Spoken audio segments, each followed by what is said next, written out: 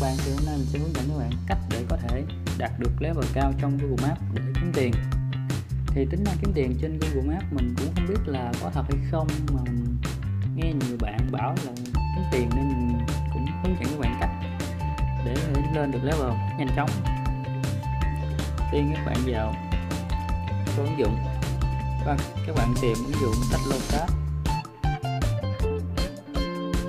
ở đây mình đã cài rồi cho nên không cài lại nữa thì để cho cái ứng dụng này nó hoạt động á, các bạn vào cài đặt. Các bạn cần bật tính năng cho người phát triển bằng cách thông giờ thông tin thiết bị. Thông tin phần mềm, các bạn nhấp 7 lần vào số hiệu bản tạo. Thì cái tính năng cài đặt cho người phát triển sẽ bật được bật lên. Các bạn sẽ chọn vào ứng dụng và vị trí và chọn khách podcast là được. Giờ mình sẽ mở lên.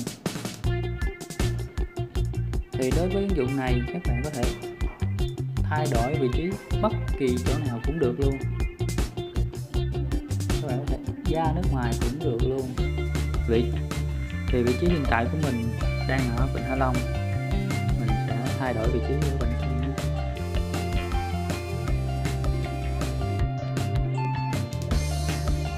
giờ mình sẽ thay đổi xuống hai phòng. Nhấn xa để khởi động ứng dụng. Bạn vào lại bản đồ. Thì các bạn sẽ thấy đây, vị trí của mình đã thay đổi xuống hai phòng. Và bây giờ mình sẽ hướng dẫn các bạn đăng bài.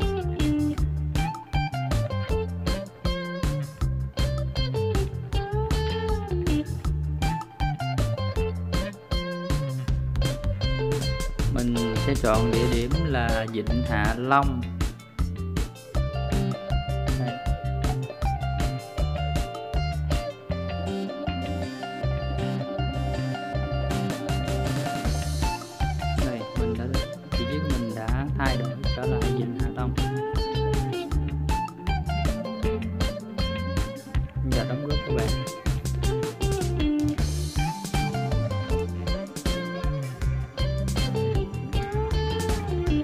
Thì ở đây nó sẽ nổi lên địa điểm là Vịnh Hạ Long.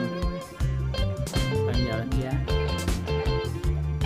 Thì cái, các cái mô tả này nè, các bạn có thể ra Google Maps. Các bạn có thể ra Google để tải và hình ảnh như vậy. Các bạn có thể lấy ở Instagram, ở Facebook, bất cứ nơi nào cũng được. Đây mình đã tải sẵn rồi.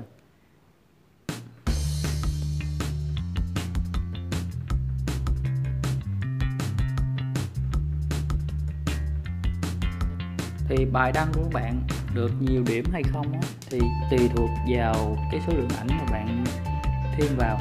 Các bạn thêm càng nhiều ảnh thì điểm sẽ càng cao.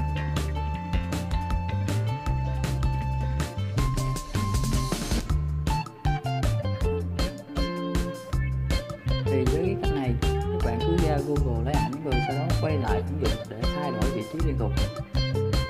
Thì nếu như các bạn nào làm chuyên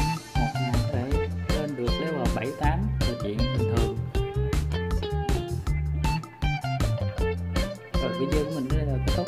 Nếu như thấy hữu ích đừng quên like và đăng ký kênh nhé.